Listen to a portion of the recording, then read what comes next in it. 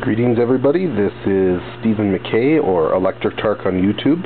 Um, today I'm going to give uh, the uh, uh, Velleman Instruments HPS 10SE a uh, review. I've had this uh, device for well, approximately a year or so. I have my own um, oscilloscope, but this one it has come in handy occasionally.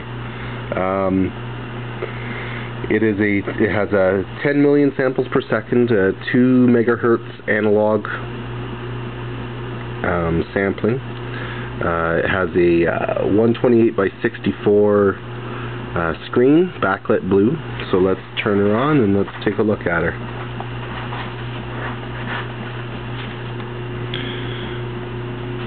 Now one of the things about this device is it's actually not bad. I paid approximately $130 US for it. It was on sale. Uh, right now I believe their going rate is around 160 or so.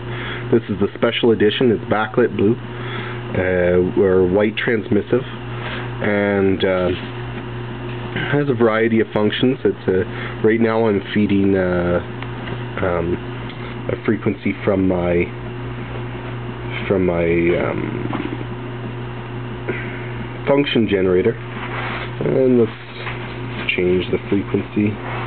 Oh it's on hold so go memory. Hit memory and it'll go back to normal. And I can play with that. I can change its, its uh, triangle wave square wave. You know I can increase the frequency. Let's put it up to 4 megahertz. Let's see what happens this is a 5 megahertz function generator. So let's see how. Let's see. Now I'm going to change the time division.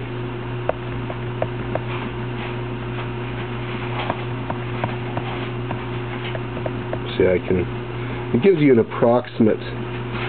Um, if you look over here, gives you an approximate frequency of the distance between those two markers and you can change those markers. Uh, it does not have live frequency detection so it's detecting. Let's see what happens if I go like this. It doesn't like that very much. I'm at 3 megahertz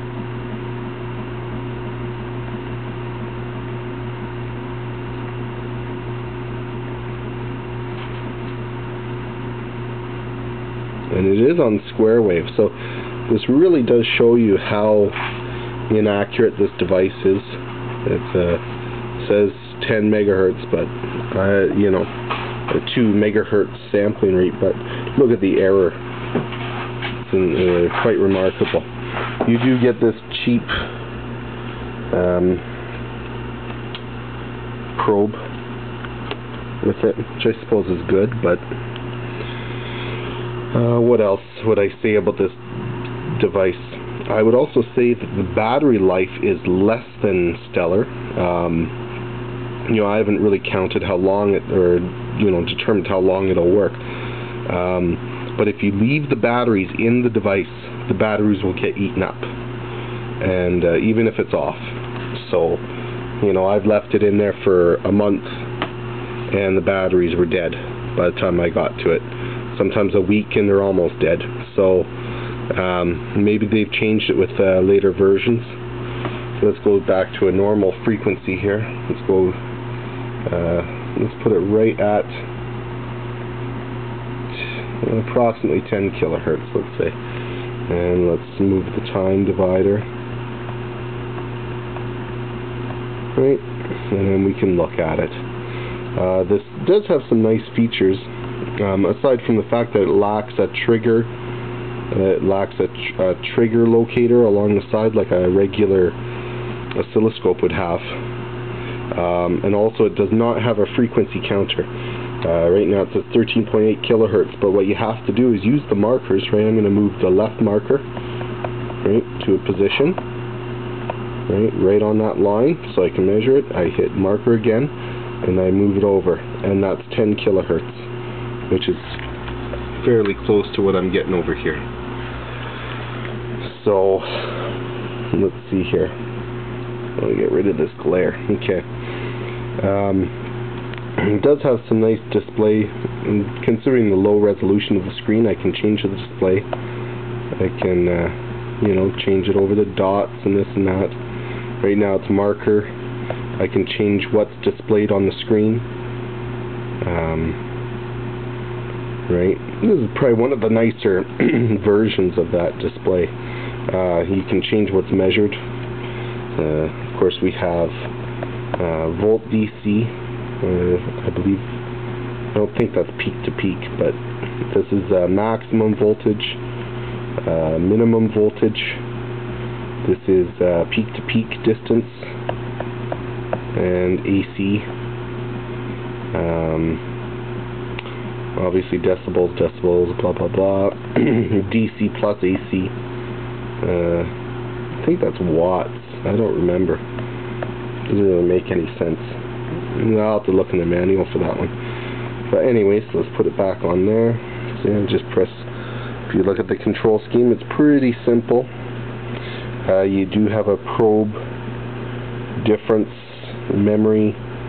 Uh, switching between AC and DC.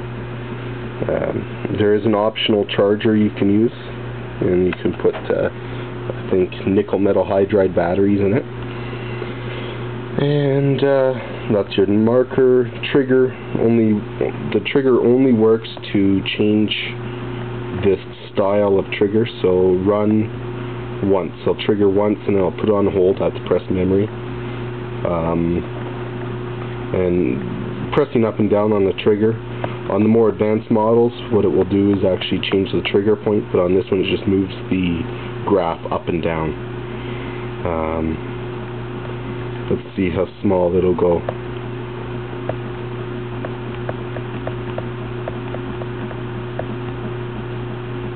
One microsecond per div.